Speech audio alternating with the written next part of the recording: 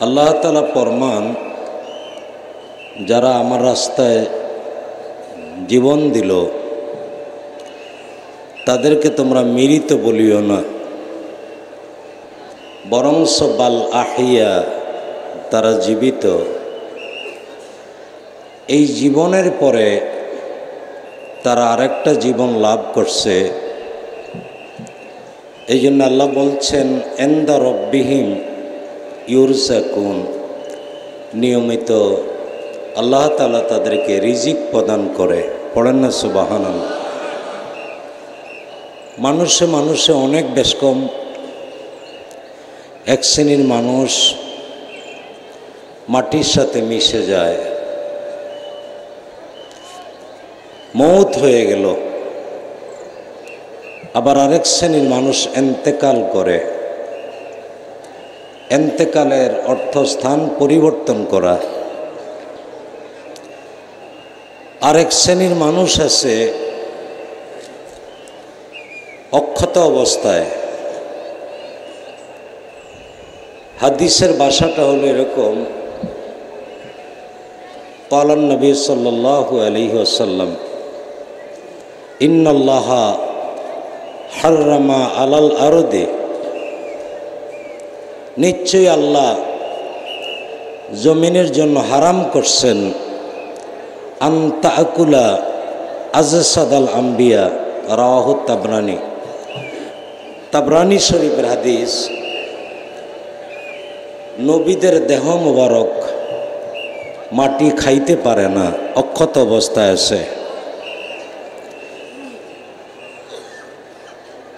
গভীর মনোযোগ কোরআন শরীফে অন্য আয়াতে এসেছে।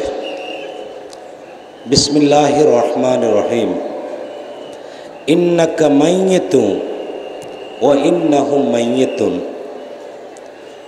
ও নবী, আপনার এন্তেকাল হবে। ও ইন্নাহুম মাইয়েতুন, অন্যদের মরণ হবে। পড়েন না সবাহান আল্লাহ বাইরে আমার আফসোস, কিছু মানুষ কোরআন হাদিসের অপব্যাখ্যা করে, তারা বুঝাইতে চায়, ওল আর ম্যান ইজ ইকুয়েল, সব মানুষ সমান। আসলে সব মানুষ সমান না। আপনাদের শনিবার রাত্রে আপনাদের উদ্দেশ্যে বলছিলাম, কিছু মানুষ আল্লাহ পাওয়ার জন্যে আল্লাহকে তালাইশ করে আবার কিছু মানুষকে আল্লাহ নিজে তালাইশ করে। খাজা এনায়তপুরী শেরপুরের পাকুরিয়ায় যখন আসলেন, আমাদের দাদা হুজুর খাজা বাবার আব্বাজান জমিদার আলিমুদ্দিন সাহেব রহমতুল্লাহ আলাই ওনাকে সকালবেলায় বললেন, বাবা, আমি আপনার ছেলে দুটাকে নিয়ে যেতে চাই। তো বলতেছে যে, হুজুর,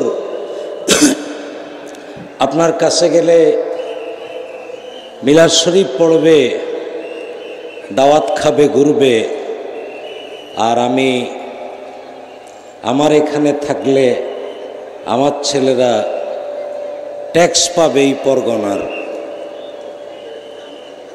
খাজা এনায়তপুরি তখন বললেন, বাবা, আপনাকে এই এলাকার মানুষ ট্যাক্স দেয়, আর আপনার এই ছেলে দুইটা, খাজা বাবার বড় ভাই মৌলানা সৈয়দ আলতাফ সাহেব এবং খাজা বাবা, এই দুইজনকে উদ্দেশ্য করে খাজা বাবার আব্বাকে খাজা এনায়তপুরি বললেন, আমার কাছে যদি ওরা থাকে তাম পৃথিবীর মানুষ ওদেরকে ট্যাক্স দিবে।